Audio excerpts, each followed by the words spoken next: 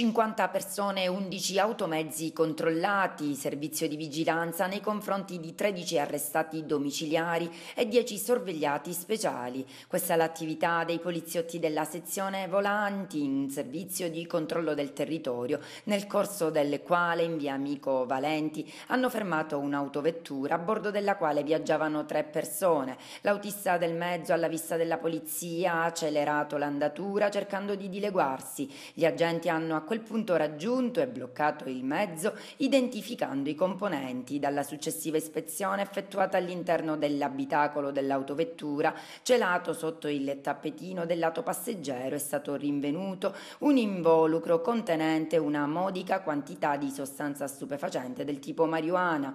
Un altro involucro indosso al conducente del mezzo, un nisseno di 24 anni e precisamente nel taschino del giubbotto. Il giovane è stato accompagnato nei locali della questura per procedere all'identificazione e da una prima analisi della sostanza al gabinetto provinciale della polizia scientifica.